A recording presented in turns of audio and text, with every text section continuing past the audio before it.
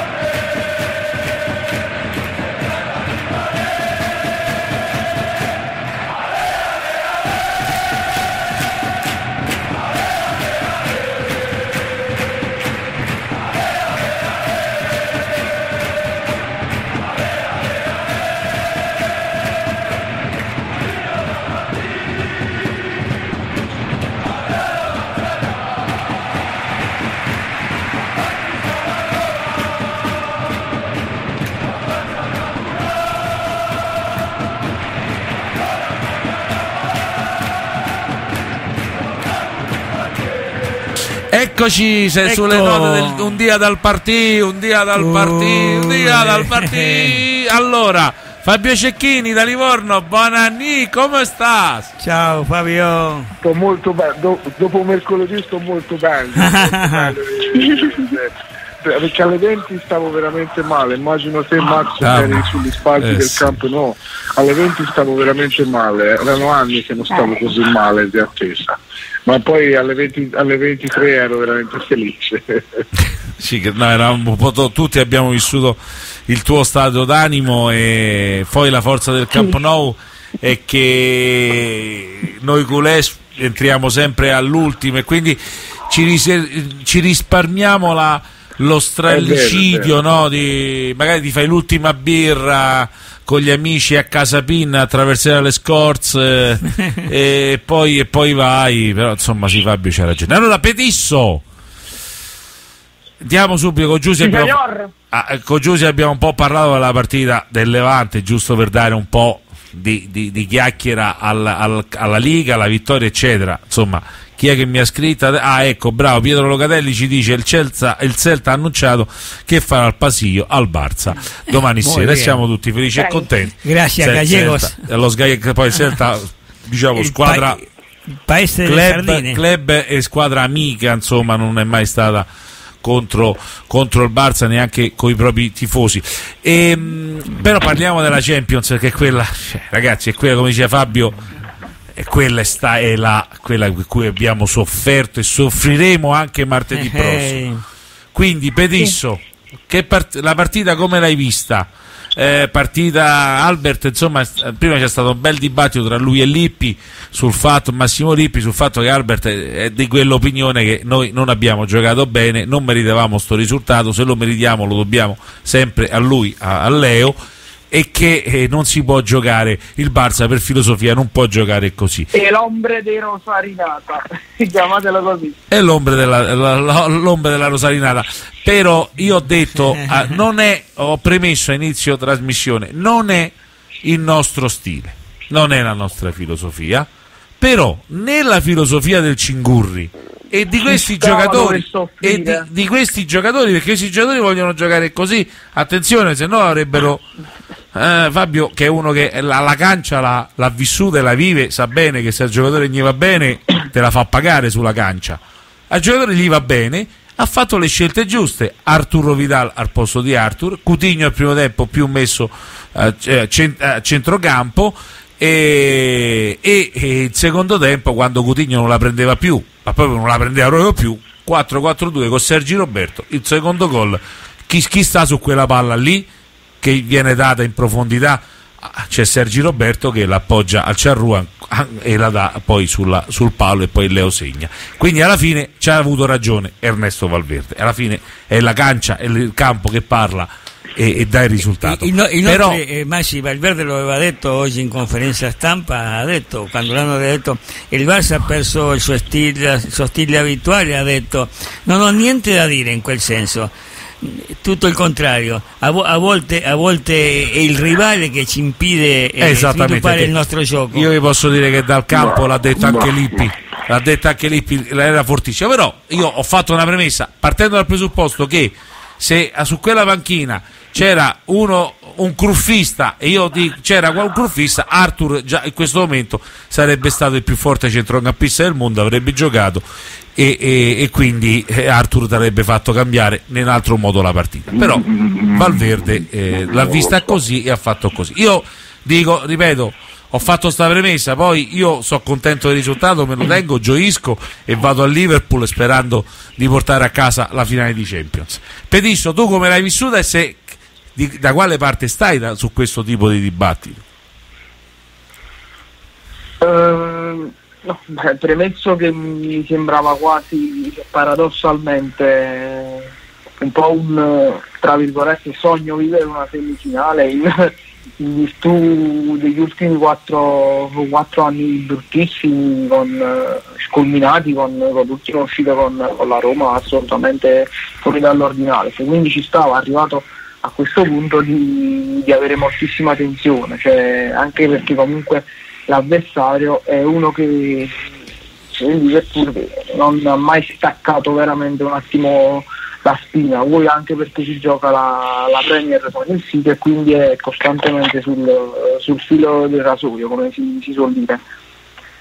Devo essere onesto, però vedendo il primo tempo ho avuto, ho avuto, ottime sensazioni perché abbiamo giocato, abbiamo tenuto il campo, abbiamo messo comunque il Liverpool nelle condizioni di non tirare mai in porta se non con quella conclusione sì pericolosa ma comunque velleitaria di, uh, di Mané.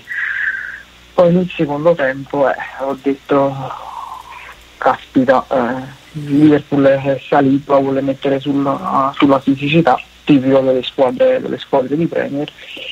Speriamo che siamo e saremo bravi a soffrire, cosa che poi effettivamente è avvenuta perché nonostante il, il tanto possesso che, che, ha fatto il Liverpool, il Liverpool sembrava il, il basta per, per buona parte del secondo tempo, almeno primi 20-25 minuti, abbiamo tenuto bene, abbiamo, abbiamo concesso relativamente poco perché eh, poi di, di, conclusioni vere in porta eh, prima del, del 2-0 non, non, ce ne sono state.